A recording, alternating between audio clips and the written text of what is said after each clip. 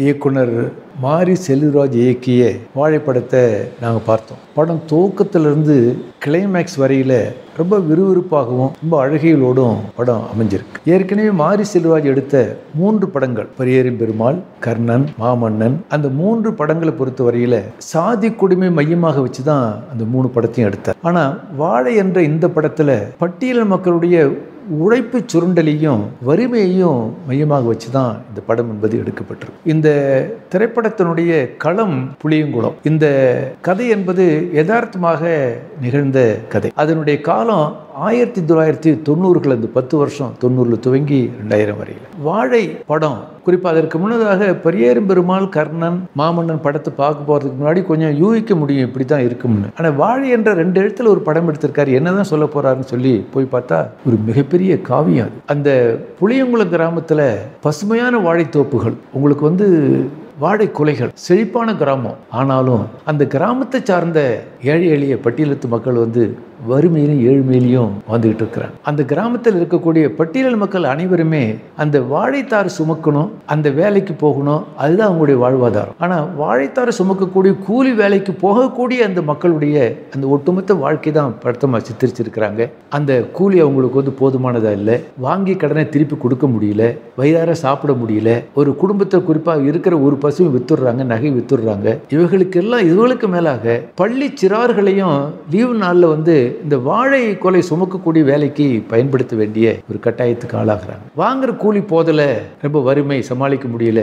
ஒரு ரூபா கூலி கூட்டி கொடுக்கணும் அப்படின்னு சொல்லி கேட்குறப்ப அந்த வியாபாரி மறுத்துடுறான். வியாபாரி தான் கிராமத்தில் வாழைத்தோட்டம் அதெல்லாம் கான்ட்ராக்ட் எடுத்து வாழை வாழைக்கொலை அறுத்து அவன் வந்து ஏற்றிக்கிட்டு போகிறான் ஒரு ரூபா கூலி கொடுக்க மறுத்துடுறான். உடனே அந்த கிராமத்தை சார்ந்த மக்கள் அந்த காய் சுமக்கும் இந்த வேலையில் இருக்கிறவங்க ஸ்ட்ரைக் பண்ணுறாங்க அப்புறம் ஒரு ரூபா கொடுக்குறான். அது கூட ஒரு ரூபா கொடுக்குறான்னு சொன்னால் அவங்கள வீட்டு வாகனத்தில் கொண்டு போய் இறக்கிறதுக்கு பதிலாக நீங்களே கொலை எடுத்துகிட்டு போகக்கூடிய அந்த லாரிலே போங்கன்னு சொல்லி அதை மனசு வச்சு தான் ஒரு ரூபா கூடுதலாக கொடுக்கும். அப்படி இருந்து அந்த மக்களுடைய ஏழ்மை வறுமை போகலை. குறிப்பாக ஒரு குடும்பத்தில் சிவனைந்தான் சொல்லி ஒரு பள்ளி மாணவன் அவங்க அம்மா அவங்க அக்கா அவனுடைய நண்பர்கள் இதுதான் அந்த- அந்த குடும்பம். அதை ஒட்டி அந்த கிராமத்து மக்களுடைய வாழ்க்கை தான் வந்து அந்த படமாக எடுக்கப்பட்டிருக்கு. அவனுக்கு ஒரு நாள் வந்து ஆண்டு விழா பள்ளிக்கூடத்துக்கு போகணும். நல்லா படிக்கிற பையன் ஃபஸ்ட் மார்க் வாங்குறான். ஆனால் அவங்க அம்மா என்ன சொல்கிறாங்க வியாபாரிகிட்ட கான்ட்ராக்டை பணம் வாங்கிட்டேன். போகலாம் தொலைச்சிருவான். எனக்கு உடம்பு சரியில்லை. நீ போகாது அப்படின்றாங்க. அவனுக்கு விழாவுக்கு போகிறதா காய் சுமக்க போகிறதா ஒரே திண்டாட்டத்தில் விழாவுக்கு போய் திரும்பி வரான். சாப்பிடல. போகிற வழியில் வாழைத்தோப்பில்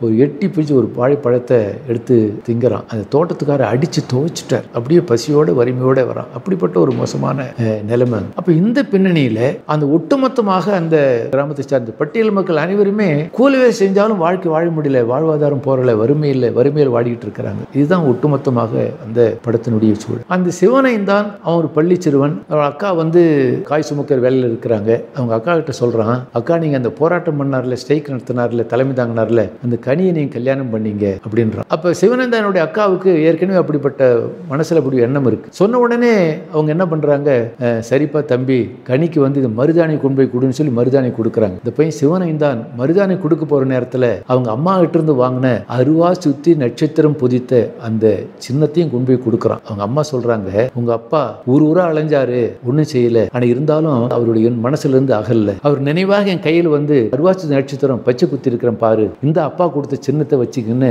அருவாசுத்து நட்சத்திரத்தை அம்மா கொடுக்குறாங்க. அதுதான் சிவனைந்தான் வந்து அந்த போராட்ட தலைமை தாங்கிய அந்த கனி கொண்டு போய் கொடுக்குறாரு. அடுத்து ஒரு சில நிமிடங்கள்ல வந்து இறுதி காட்சி கிளைமேக்ஸ் வருது. அந்த கிளைமேக்ஸை பொறுத்தவரையில சில வரிகளை வார்த்தைகளால் சொல்ல முடியாது. படத்தை பார்த்தா தான் புரியும். ஆனா இருந்தாலும் அந்த கிளைமேக்ஸை பற்றி ஒன்று நான் சொல்ல விரும்புறேன். கிளைமேக்ஸ் முடிந்த பிறகும் தியேட்டர்ல படத்தை படத்தை பார்க்குறவங்க நாற்காலி விட்டு எழுந்து போக அப்படி உறைஞ்சு போய் உட்கார்ந்து இருக்கிறாங்க அந்த முறையில் பிரம்மாண்டமாக அந்த படம் என்பது கிளைமேக்ஸ் என்பது அமைஞ்சிருக்கு. நான் நிறைவாக சொல்ல விரும்புவது அந்த பள்ளி சிறுவன் சிவனையும் தான். தன் அக்காவுடைய காதலன் கணிக்கு அருவாசித்து நட்சத்திரம் புதித்த அந்த சின்னத்தை கொடுக்குறான்னு சொன்னா அது எதை காட்டுது? கூலி அடிமைக்கு முடிவு கட்டணும். கூலி அடிமைக்கு இருந்து விடுதலை பெறணும் அப்படின்னு சொன்னா அதுக்கு தீர்வு காண்பதுதான் அருவாசித்து நட்சத்திர சின்னம். அந்த கொடி தான் இந்த பிரச்சனை கூலி அடிமைக்கு தீர்வு காணும் என்று அந்த அடிப்படையில் வந்து ரொம்ப ரொம்ப நளினமாக ரொம்ப அழகாக வந்து தீர்வை கொடுக்கக்கூடிய அடிப்படையில் அந்த படம் என்பது அமைந்திருக்கிறது. உண்மையிலேயே தமிழ் திரையுலகத்துல வாழை படம் என்பது முக்கியமான இடத்தை பெறும். அந்த இயக்குனர்